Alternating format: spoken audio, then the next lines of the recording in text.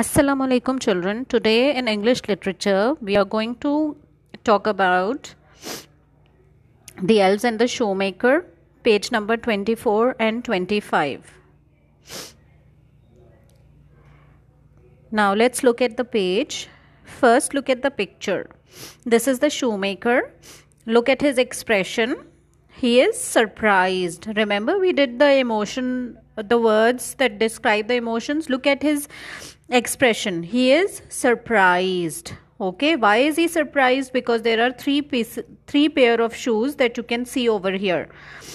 Uh, he the last time that, that we had read we read that uh, he had cut the leather three pieces of leather and he left them in the shop. And when he has come again uh, he is he can see that there are three pairs of shoes over here let's read this the next morning, the shoemaker came downstairs. On the table were three pairs of beautiful shoes.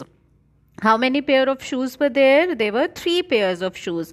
When did the shoemaker uh, find them? He found them the next morning. Okay, what is the color of the shoes? Look at this one. This is purple. This is brown. And this is white and green okay so the shoemaker has found the three pairs of shoes when he uh, woke up the next morning now what what is your task? You have to do handwriting of page number 24 and you have to be very careful about the punctuation marks. You also have to draw and color your favorite character from the reader. Okay there uh, how many characters were there? There's the shoemaker the shoemaker's wife the rich man and the rich woman. So out of these four characters you have to draw any one that is your favorite.